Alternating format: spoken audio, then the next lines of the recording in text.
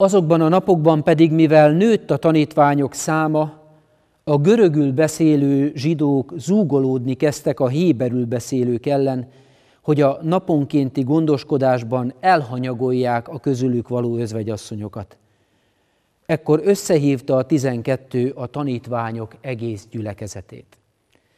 Kegyelem és békesség Istentől, a mi atyánktól, és Jézus Krisztustól, a mi Urunktól, aki önmagát adta a mi bűneinkért, hogy kiszabadítson bennünket a jelen való gonosz világból, Istennek a mi atyánknak akarata szerint, aki a dicsőség is örökkön örökké. Ámen. Szeretettel köszöntjük a testvéreket, akikkel lélekben és az üdvösség reménységében lehetünk együtt ebben a járványsújtott időszakban, és Isten szeretetére nyitottan tanulmányozhatjuk az ő igéjét imádságos lélekkel, reménységben.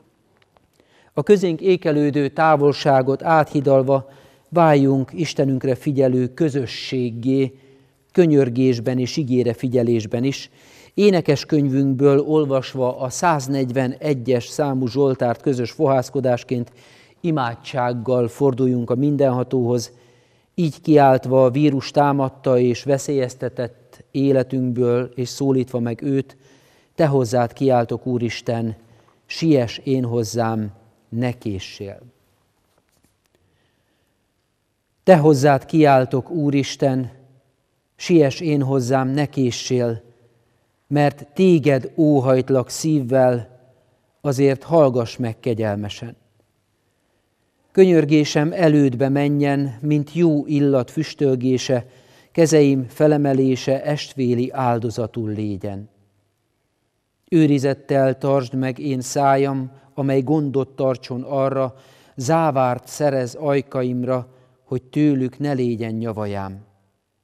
Ne bocsássad szívem gonoszra, hogy a hamisan élőkkel soha ne ereszkedjem el az ő nyájas kívánságokra. A hív ember megfedjen engem, és feddése kedves légyen, mint balzsamolja a fejemen, még verése sem árt én nékem. Mert én elhiszem, s mondom nyilván, hogy még a hitetlenekért imádkozom mentségekért, nyavajájukon szánakozván. Szemeim reád néznek, Uram, reménységem vagyon benned, lelkemet hát elnevessed, mert Te vagy minden bizodalmam. Ámen. Ami lelki és igei közösségünk megáldása és megszentelése jöjjön a mindenható Istentől, aki Atya, Fiú, Szentlélek, teljes szent háromság, egy igaz és örök Isten vezesse és kísérje az ő szent lelke a mi lelkünket ma is. Ámen.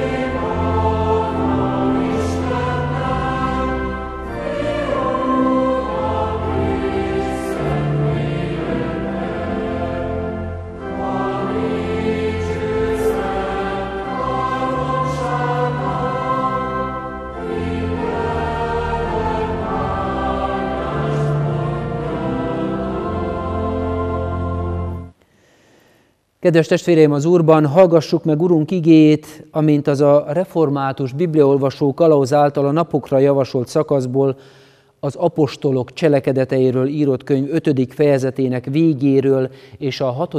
fejezet elejéről szól hozzánk. A történetet onnan követjük, hogy az apostolok szolgálata nyomán egyre több ember érzi Krisztust. Egyre több ember érzi, hogy az életéhez egészen közeledik az Isten, egészen közel hajol a kegyelmes Isten. Ez pedig sérelmezi a hagyományos vallás, ideértve a papok testületét, és el akarják hallgattatni a bizonyságtételt, ha kell, akár egészen készek elhallgattatni az apostolokat. A bölcs Gamáliel tanácsára azonban csak megkorbácsolják őket. Előhívták az apostolokat, megverették őket, azután megparancsolták nekik, hogy ne szóljanak Jézus nevében, és azzal elbocsátották őket. Ők pedig örömmel távoztak a nagy tanács színe elől, mert méltónak bizonyultak arra, hogy gyalázatot szenvedjenek az ő nevéért, a Krisztus nevéért. És nem hagytak fel a naponkénti tanítással, és hirdették a Krisztus Jézust a templomban és házanként. Azokban a napokban pedig, mivel nőtt a tanítványok száma, zúgolódást támadt a görögül beszélő zsidók között a héberek ellen, hogy mellőzik a közülük való özvegyasszonyokat a mindennapi szolgálatban. Ekkor összehívta a tizenkettő a tanítványok egész gyülekezetét, és ezt mondták nekik.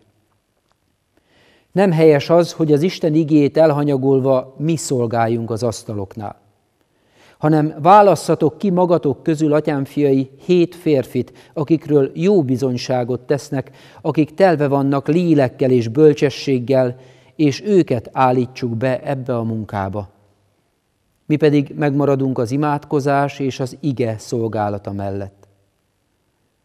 Tetszett ez a beszéd az egész gyülekezetnek, és kiválasztották Istvánt, aki hittel és szentlélekkel teljes férfi volt, valamint Fülöpöt, Prokoroszt, Nikánort, Timont, Permanászt és Nikolauszt, az antiókiai prozelitát, az apostolok elé állították őket, és miután imádkoztak, rájuk tették kezüket. Az Isten igéje pedig terjedt, és nagyon megnövekedett a tanítványok száma Jeruzsálemben, sőt, igen sok pap is engedelmeskedett a hitnek. Ámen. Isten áldása kísérje az ő igényének útját, ami szívünkbe, hogy az életünkbe érve meggyökerezzen, és gyümölcsöt teremjen az Úr dicsőségére. Ezért imádkozzunk is. Mindenható Istenünk, örökkévaló édesatyánk a Jézus Krisztusban, dicsőítünk téged a te háromszor szent nevedért, amelyel ma is kész vagy magadra vonni, ami oly könnyen máshová kalandozó, és másút portyázni próbáló figyelmünket. Magasztalunk, amiért a világ bármely tájáról és helyzetéből kiálthatunk hozzád, te pedig kész vagy éreztetni jelenlevő kegyelmedet a rád figyelővel, a rád figyelőkkel, bármilyen sokan szólítsanak is egyszerre. Köszönjük, hogy sajátos helyzetünkből és nyomorúságunkból most szólíthatunk, és benned találkozhatunk, még akkor is, amikor természetszerű különbségeink és a vírus okozta távolság emberileg elválaszt egymástól. Bűnbánattal ismerjük be, hogy nem egyszer van elválasztó ereje a különbözőségeinknek, és ez kihatással van még a veled való kapcsolatra is. Töredelmesen valljuk be, hogy ennek nyomán belénk is képes beférkőzni a zúgolódás lelkülete, bennünk is táptalajt talál a vádaskodás és elégedetlenség, mint a mai ígében a történetben. Könyörgünk hozzád, bűntörlő kegyelmeddel gyógyíts minket, hogy minden nyavajúságunkból téged tudjunk keresni és látni, benned tudjunk egyé lenni, miután veled egyek vagyunk. Kérünk szent lelkeddel cseleket, hogy most is rád figyeljünk, rád hangolódjunk, hagyjuk magunkat közeledbe vonva gyülekezetté tenni, és tudjunk az ígére figyelve egymáshoz is közelebb kerülni. Jézusért. Ámen. Szeretett testvéreim, Istennek igé, amelyel megszólított engem, és amely nyomán most az ő szent lelke segítségül hívásával az ő üzenetét hirdetem nektek is, az imént már felolvasott ige szakaszban az apostolok cselekedeteiről írott könyv 5. és 6. fejezetének fordulóján van megírva, ahonnan a 6. fejezet első négy versét olvasom újra kiemelve. Azokban a napokban pedig, mivel nőtt a tanítványok száma, a görögül beszélő zsidók zúgolódni kezdtek a héberül beszélők ellen, hogy a naponkénti gondoskodásban elhanyagolják a közülük való özvegyasszonyokat. Ekkor összehívta a tizenkettő a tanítványok egész gyülekezetét, és ezt mondták nekik. Nem helyes az, hogy az Isten igét elhanyagolva mi szolgáljunk az asztaloknál, hanem választhatok ki magatok közül testvérek hét férfit, akikről jó bizonyságot tesznek, akik telve vannak lélekkel és bölcsességgel, és őket állítsuk be ebbe a munkába, mi pedig megmaradunk az imádkozás és az ige szolgálata mellett. Ámen. Kedves testvérek, a mai ige szakaszunknak, amelyben egyszerre jelenik meg a külső szorongattatás és a növekedés reménysége, Fontos üzenetei vannak mostani megpróbáltatásunkkal járó nehéz időkben, amelyekből reménységgel tekintünk előre, a gyülekezeti élet felszabadulása és növekedése felé, közben pedig érezzük a külső szorítást. Az első üzenet, amit kiemelek ebből a történetből az, hogy a keresztény gyülekezet minden külső fenyegettetés közepette és dacára életképes maradhat érik csapások a Krisztus tanítványokat. A legnagyobb nagypénteken éri az apostolokat, amikor nem alaptalanul érzik úgy, hogy vége van mindennek. Hisz a mestert, az urat keresztre feszítve megölik. Husvétra virradva azonban elér hozzájuk, és felrázza őket az örömhír, él az Úr. És annál nagyobb örömmel és lendülettel indul meg a gyülekezet élete az ő buzgóságuk is. Veszítenek el embereket. A múltkor beszéltünk róla Iskariótes Júdás árulása és kiesése kapcsán, hogy kellemetlen űrt hagy maga után, amikor kiesik egy-egy ember a gyülekezetből. A tátongó seb azonban összezárul. Istentől adatnak és a közösségben találtatnak alkalmas emberek, akik az őrfalakra tudnak állni. Folyamatosak az áskálódások, például a templomi vezetők részéről. Mégis adódik mód a hitvallásra, még a templomban való tanításra is.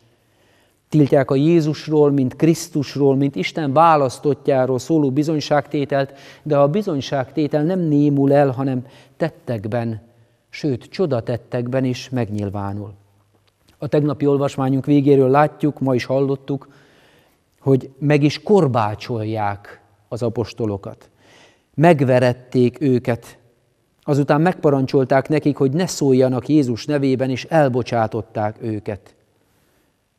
Ők pedig örömmel távoztak a nagy tanács színe elől, mert méltónak bizonyultak arra, hogy gyalázatot szenvedjenek az ő nevéért, és nem hagytak fel a naponkénti tanítással a templomban és házanként, és hirdették, hogy Jézus a Krisztus az elszenvedett bajokból felállva még meg is erősödnek, és ennek nyomán a Krisztus hit elér nem csak a templomokba, hanem a magánéletbe is.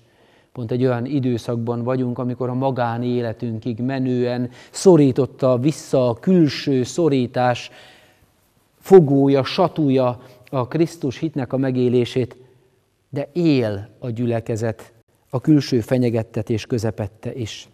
Minden külső fenyegettetés, közepettés dacára, a főpapság, a templomőrség, a szadduceusok és farizeusok akadályozó tevékenysége dacára, a koronavírus dacára életképes marad és él, sőt erősödhet a gyülekezet. Ezzel a növekedéssel párhuzamosan azonban megjelent egy sokkal nagyobb veszély, a belső feszültség, ami kibontakozik akkor, amikor nagyobb létszámban vannak együtt újra. Ez a második üzenet, amit kiemelek szinte figyelmeztetésként. A belső feszültség jobban veszélyezteti a közösségi életet és a hitvaló gyülekezet létét, mint a külső fenyegettetés. Miközben az ideálisnak egyáltalán nem nevezhető körülmények között nő a tanítványok száma, működik az Isten szent lelke, megnyilvánul a nagy jó a rossz közepette, jellemző módon felüti a rossz is a fejét a jóban. Az Úristen építésével szemben megjelenik a szétdobáló hatása. Indul a pusztulás. Azt olvasjuk, hogy azokban a napokban pedig, mivel nőtt a tanítványok száma, megy az építkezés, a görögül beszélő zsidók zúgolódni kezdtek a héberül beszélők ellen. Morgolódás támad. Egymásra kezdenek ellenindulatokkal nézni, acsarkodni, egymás ellen irányulnak az energiák, ami sokkal veszélyesebb, mint amikor kívülről jövő támadással kell szembenézni, hiszen a külső támadásokkal szemben még össze is zár a közösség. Össze is fog a közösség, nő a koherencia, mondják ezt pszichológiai szaknyelven. A belső konfliktus pedig egymástól kezd el taszítani, veszélyezteti és megbontja a gyülekezet belső összetartozását, az egységet. Fontos látni azt, ez látszik a mai történetben is, hogy ez nem is kell sok. Nem kell sok ahhoz, hogy belső egység megbomoljon, ahol különböző emberek vannak együtt, és különbözőek vagyunk. Valljuk be őszintén. Az első gyülekezetben is elég volt ehhez a belső bomláshoz annyi, hogy valaki úgy érezhette, nem foglalkoznak vele eleget. Valahogy nem kapott annyi figyelmet, mint amennyit igényelt volna. És sajnos előfordul. Még egy keresztény közösségben is, még a legnagyobb jó szándék ellenére is. Lehetetlen mindig mindenkire egyformán odafigyelni. Az élet magával hozza, hogy hol ez, hol az kerül egy kicsit jobban előtérbe. És ezzel természetszerűleg vele jár, hogy más meg háttérbe szorul. Nézzük csak a mai napot, és ezt a mostani Isten tiszteletünket, egy református Isten tiszteleten vagyunk együtt, erre figyelünk egy igére közösen. Egy ige szakasz kerül a figyelmünk középpontjába, az apostolok cselekedeteiről írt könyv, annak is főleg a hatodik fejezete. A többi szentírási rész ehhez képest háttérbe szorul. Pedig még a református bibliolvasó kalauz is ajánl egy másik fejezetet már, a Mózes negyedik könyvének 31. fejezetét. Ez azért van, hogy háttérbe szorul, mert ez nem fontos, vagy a Szentírás többi része az lényegtelen. Dehogy nem fontos. De egyszerűen lehetetlen minden részre egyformán figyelni, és ezt tudomásul vesszük. És a Szentírás is tudomásul veszi, és biztos vagyok benne, hogy Mózes negyedik könyve nem sértődik meg azon, hogy most nem ráfigyelünk, hanem szépen és türelmesen kivárja, ameddig ráér majd a sor, és majd akkor rá fogunk figyelni. Az embernél teljesen más a felállás. Az ember szeret középpontban lenni. A saját gondolkodásunk középpontjában általában mi magunk vagyunk. Főleg a mai ember szeret középpontban lenni, és amikor nem kap annyi figyelmet, mint amennyit igényelne, vagy hadd fogalmazzam így magamat is beleértve, amikor nem kapunk annyi figyelmet, mint amennyit igényelnénk, vagy nem úgy kapjuk, akkor nagyon könnyen érzékenykedni kezdünk. És amikor a csalódott érzékenykedésünk körülnéz, és viszonyítgatásban azt látja, hogy mással meg jobban törődnek, mint velem, akkor az önsajnálatnak, ennek a furcsa strádának az oldalán elindul a feszültség. És kitalálunk hozzá egy elméletet is nagyon gyorsan, hogy ez miért van. Kész a sértődöttség, onnan indul a morgolódás, meg a zsörtölődés. Úgy tűnik a Jeruzsálemi gyülekezetben is ez a helyzet, ott is voltak érzékenykedő emberek. A mai igéből arra következtethetünk, hogy özvegyek sérelmezhettek valamit. Eleve érzékeny pontokkal élő emberekről, személyekről van szó, akiknek sérült a családi kapcsolatrendszerük. A szeretet területén vannak már sebek, amiket magukban hordoznak. de ott voltak, ott lehettek a közösségben, a keresztény gyülekezetben, kapcsolatban az életük szintjéig aláhajolni kész Istennel. Egykori családjuk helyett családjuká lett a gyülekezet. És nagyon szép, hogy ez a közösség nem csak beengedte őket, hanem beölelte őket. Gondoskodott is róluk. Naponkénti gondoskodásról olvasunk az igében. Minden napi szeretett szolgálatról szól a történet valaki mégis elhanyagolva érezte magát ebben a naponkénti gondoskodásban. Hadd ne kelljen az érzelmekkel vitatkoznunk, fogadjuk el őket, elhanyagolva érezte magát. Ez sajnos előfordul. De úgy gondolom, hogy ezt akár szóvá is lehetett volna tenni az apostolok felé, és kedves apostolok, rosszul esett, hogy a minap csak olyan kevés időt szántatok rám, vagy nem voltatok olyan kedvesek, mint a múltkor, és mosolygósak. És ezt meg lehetne beszélni érzékenyen, de nem érzékenykedve.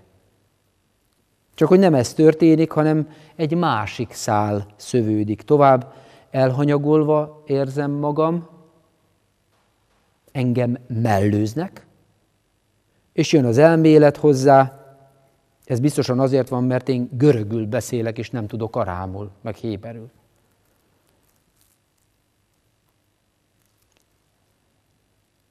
És hogyha körülnézek, akkor látom, hogy már vannak érintett társaim is, mert nem csak én vagyok itt, aki nem tudok arámul, meg héberül, hanem más görögök is vannak. Kérdezzük meg a barátos nőimet először, hát ha nekik is volt már elhanyagoltságérzésük. Hiszen sokan vagyunk itt Jeruzsálemben így, a népünk szana széjjel fröccsent a nagyvilágban, hol ide kényszerült valaki, hol oda kényszerült, vagy a jobb boldogulás reményében elment külföldre, ott elfelejtette még az anyanyelvét is, manapság is lehet ilyesmivel találkozni, és akkor utána hazajön, megtanult egy világnyelvet, és akkor ő onnantól kezdve már görögül beszél. Hát úgy volt Jeruzsálemben is, amikor megözvegyültek, akkor hazaköltöztek. Jó, hogy megengedhettük magunknak, mondhatták, de mi csak görögül beszélő zsidók vagyunk, ilyen gyütmentek, ilyen kis gyökértelenek. Bár hallottunk Krisztusról, arról, hogy az Isten egészen közel jön az emberekhez, még éreztük, hogy hozzánk is közel jön, a gyülekezetet is használja egyben a naponkénti gondoskodásban, de hát csak mások vagyunk mi. Ezek a jóra való apostolok itt vannak persze, hát ők zömében galileai emberek, egyszerű emberek, halász emberek, de ahogy beszélnek azok görögül, mi meg ide szorulunk a másodosztályra. Aztán ezen próbálunk ellenni valahogy. Nem tudnak úgy szót érteni velünk, mint szeretnénk. Ugye így van, ugye nálatok is így van. A görögül beszélő zsidók hátrányba kerülnek a héberül beszélőkkel szemben. És ebbe a történetbe beszállnak a görögül beszélő zsidók mind. Úgy néz ki, és egyre nagyobb a lufi és egyre nagyobb a feszültség a gyülekezeten belül is. Ki ellen irányul a feszültség? A zsidóul beszélő, a héberül beszélő gyülekezeti tagok ellen. Veszélyben a gazdagon megáldott, növekvő gyülekezet egysége. Azokban a napokban pedig, mivel nőtt a tanítványok száma, a görögül beszélő zsidók zúgolódni kezdtek a héberül beszélők ellen, hogy a naponkénti gondoskodásban elhanyagolják a közülük való özvegyasszonyokat. Kedves testvérek, a kívülről jövő nehézségekkel szemben helytállni képes gyülekezet belső egységét veszélyezteti az érzékenykedés és annak helytelen kezelése. Ezt a veszélyt mindannyian magunkban hordozzuk, hiszen hajlamosak vagyunk az önközpontúságra, meg az érzékenykedésre is.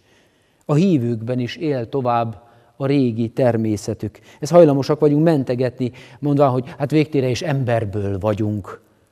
Igen, ám csak, hogy a hivatásunk és méltóságunk az lenne, hogy Krisztus arcú emberek legyünk. Végig gondoltam egy kicsit, hogy Krisztus hányszor sértődött meg?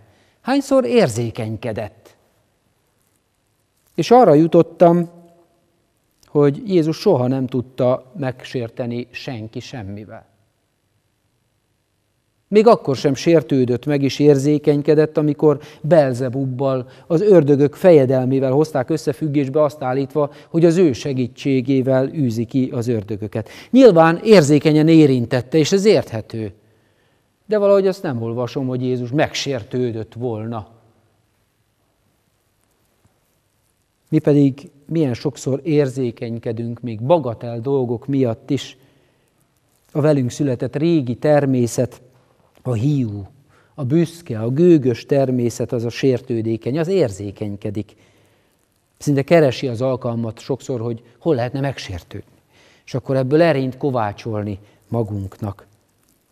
A Krisztustól kapott új természet pedig nem sértődékeny és nem is szolgáltatja ki magát. Ez a második kritikus pont, amit a gyülekezet egységét belülről veszélyeztető tényezőként kiemelek a mai igéből, mert nem azt olvassuk, hogy amikor a görögül beszélő zsidók közül való özvegyasszonyok mellőzve érezték magukat a mindennapi szolgálatban, és ezt a többiek meghallották, akkor összefogtak és megoldották a problémát, átvállalták, ja, itt az asztalnál nem volt elég figyelem rátok fordítva, hát majd odafigyelünk mi, kedves testvérek.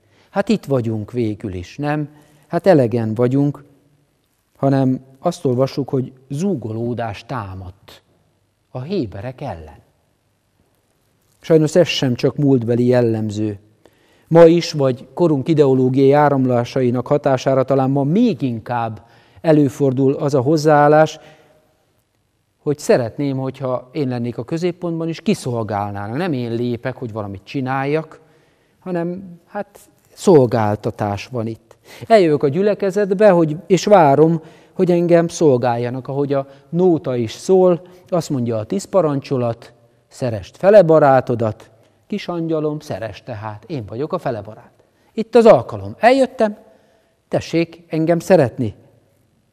Van kinek szolgálnatok, gyertek, legyetek serények a szolgálatban. És ezt sokszor még meg is lehet magyarázni, mert maradjunk az Isten igében előttünk levő esetnél, mondhatták ezek a jóra való özvegyek, én messziről jöttem, én nem beszélek arámul, én özvegy vagyok, a vérszerinti családom, ha van, messze van, hát gyertek és szolgáljatok, hát azért jár ez nekünk. Valószínű, hogy a sok özvegy között, akiket ott ki kellett szolgálniuk az apostoloknak, nem volt azért mindenki egészen maga tehetetlen. A görög nyelvűek között pedig egészen biztosan nem volt mindenki maga tehetetlen, hiszen később hét nagyon jóra való ember tudta kiválasztani. De valahogy nem ez volt az első lépés, hogy na hát itt van egy kis hiány, akkor nosza, induljunk el, aztán tegyük helyre a dolgokat, segítsünk rajtuk.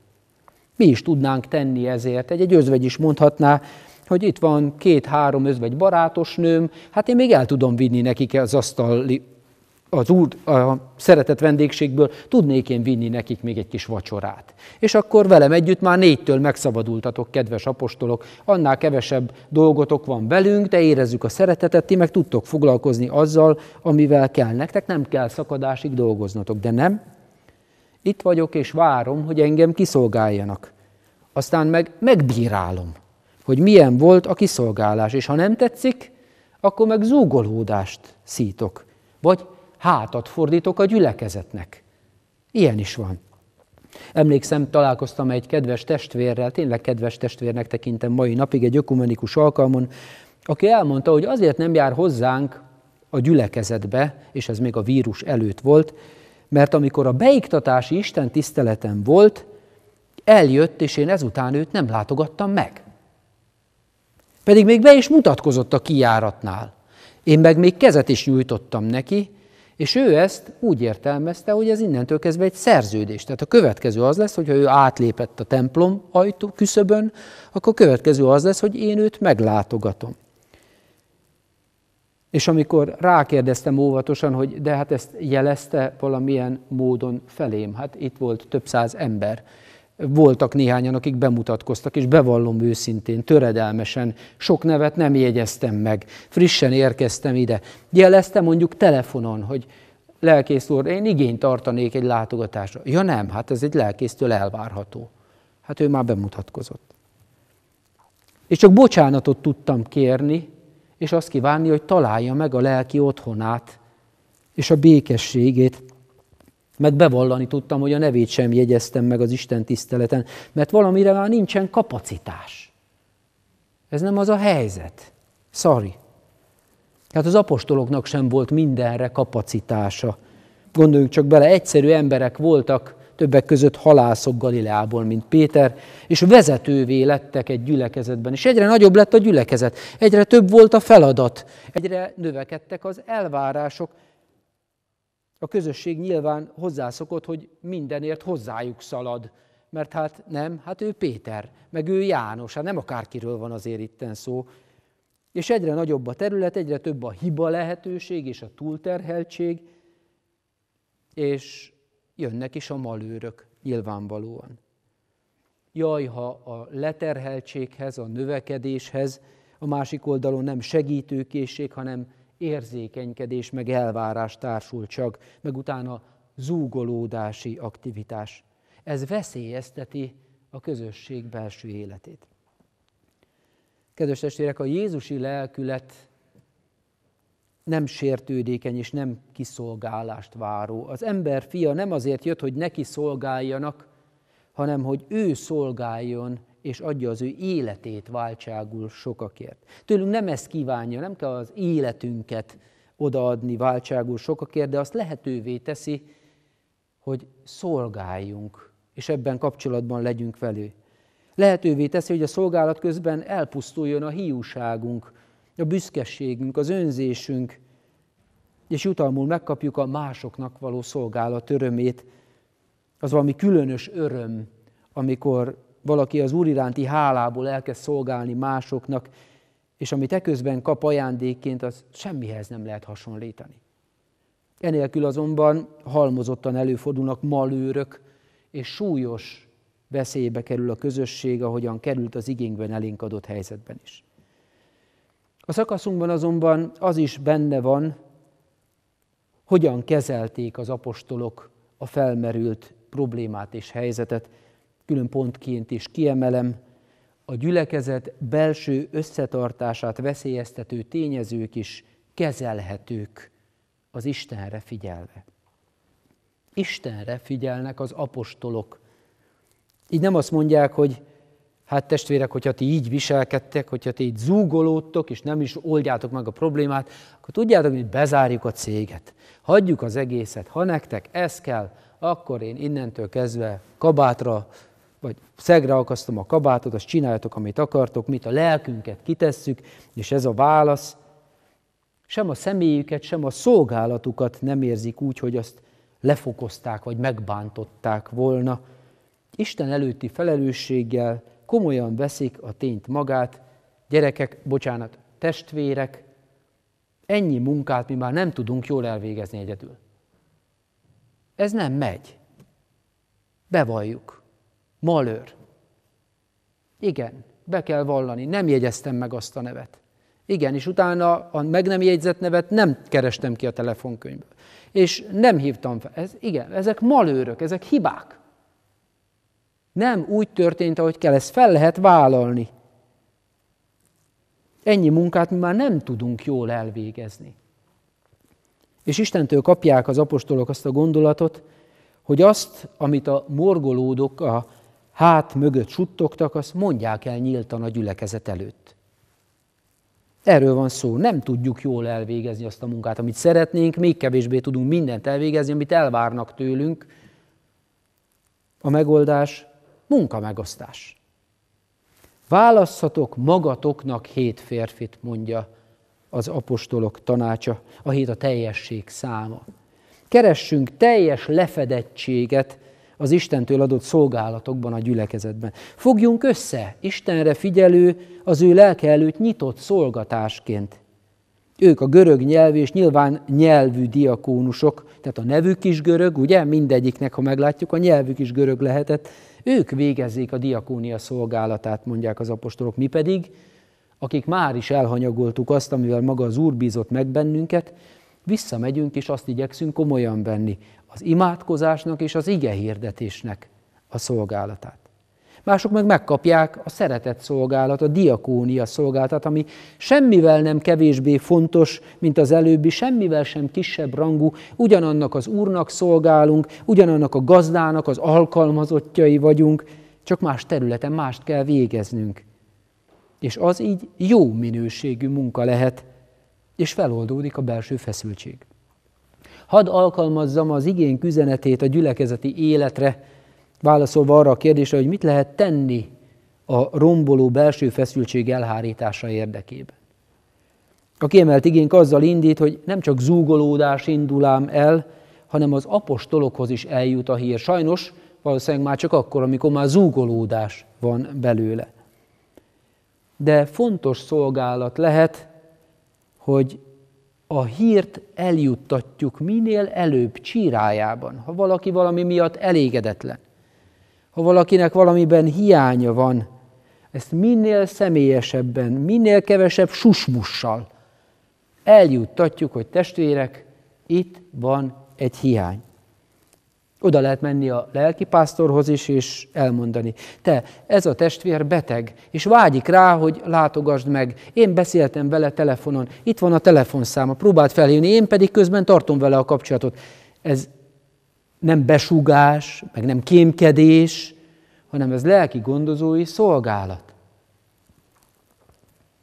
És ha jó érzületű az illető, akkor abban marad a morgolódása, és azt fogja mondani, tényleg felhívott vagy, eljött hozzám, nem szít feszültséget, ami utána a közösség egészét érintheti.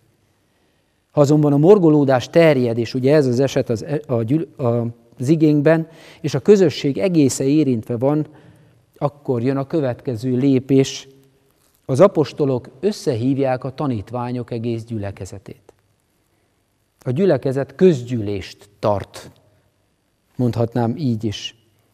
Ha van egy ilyen szintű feszültség vagy kérdés, ami a gyülekezet egészét érinti, azt nem szőnyeg alá söpörjük, meg nem védeni próbáljuk a mundér becsületét, milyen mundér az, aminek a becsületét védeni kell, hanem felvállaljuk közösségként is, közösségben pedig vezetőként is, hogy ezt egyedül kezelni nem tudjuk.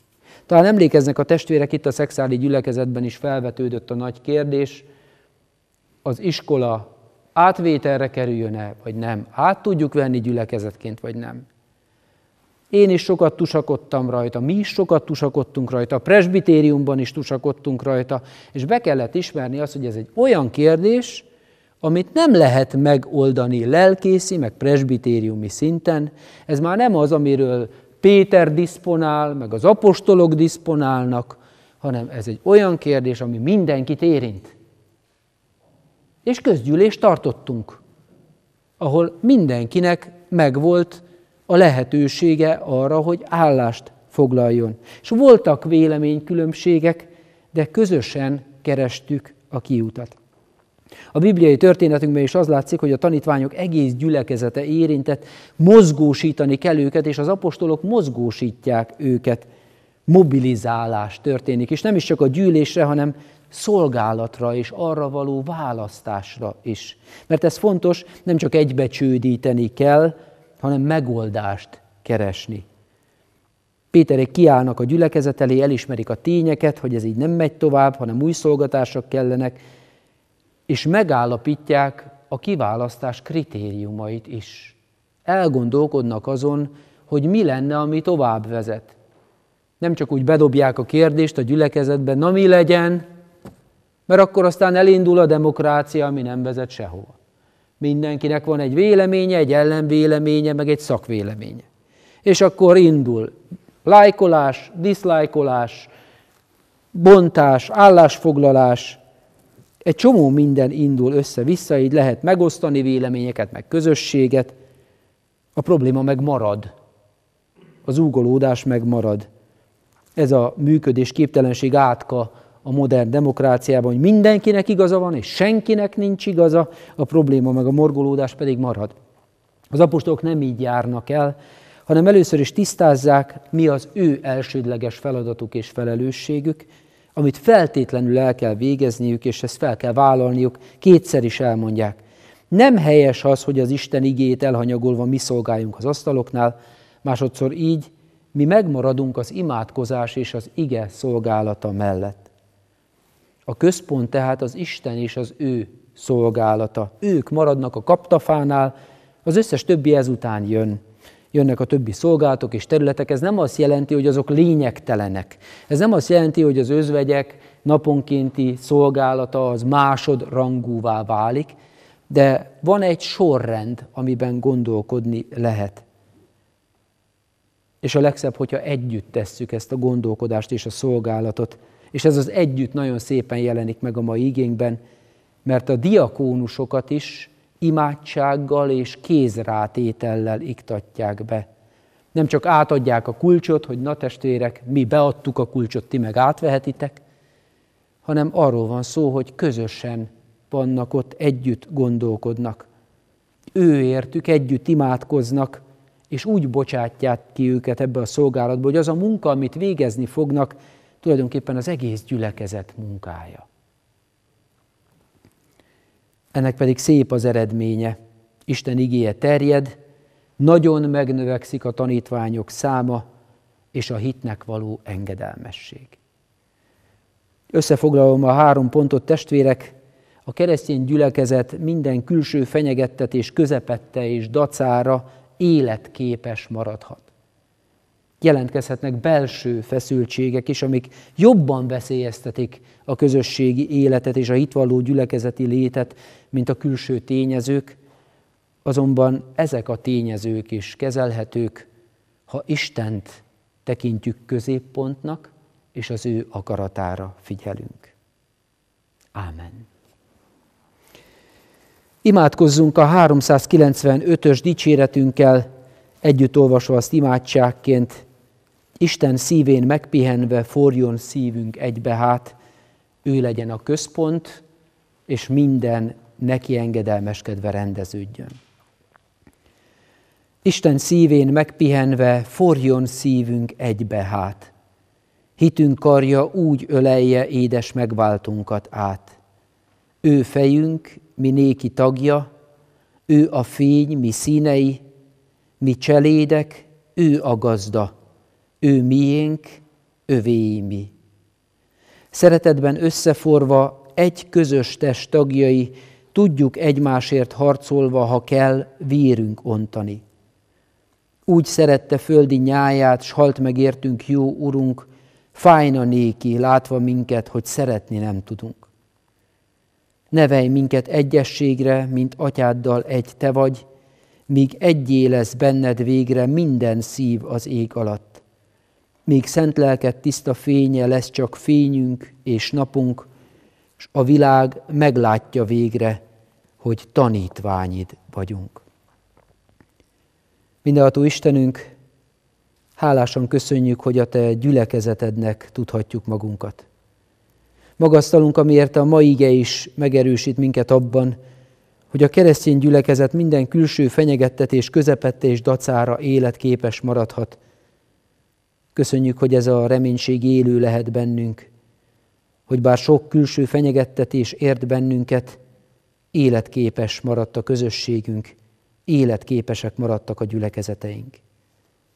Kérünk, segíts hálásan megélni ezt az életképességet, és kibontakoztatni a Te dicsőségedre.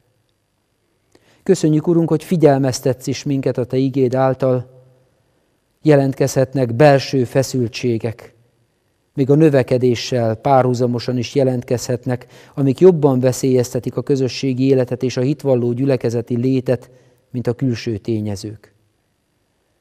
Könyörgünk, segíts csírájukban kezelni önmagunkban ezeket a feszültségeket, és egymással is kapcsolatba lépve segíts kezelni azokat a tényezőket, amik elválasztást munkálnának.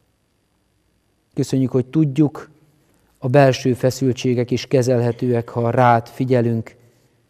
Segíts nekünk rád figyelnünk, vond magadra a mi figyelmünket.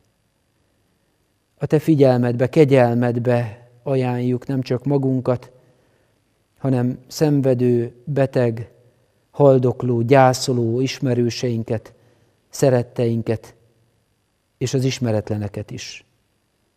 Az elesetteket, az árvákat, az eszközteleneket a te kegyelmedbe szeretnénk emelni most imádságban. És kérünk, bizonyítsd meg hatalmadat és kegyelmedet az ő életükben is.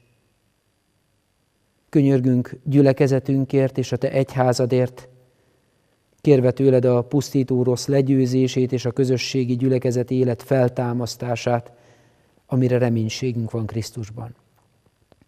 Imádságunkban hozzuk eléd egész életösszefüggésünket, a magánélettől, a családon keresztül egészen a nemzetig, az emberiségig, a világig, amit úgy szerettél, hogy egy szülött fiadat adtad érte, hogy aki hisz ő benne el ne vesszen, hanem örök élete legyen. Ő tanított bennünket imádkozni is így. Mi, atyánk, aki a mennyekben vagy, szenteltessék meg a te neved. Jöjjön el a te országod, legyen meg a te akaratod, amint a mennyben, úgy a földön is. Minden napi kenyerünket add meg nekünk ma, és bocsásd meg védkeinket, miképpen mi is megbocsátunk az ellenünk védkezőknek.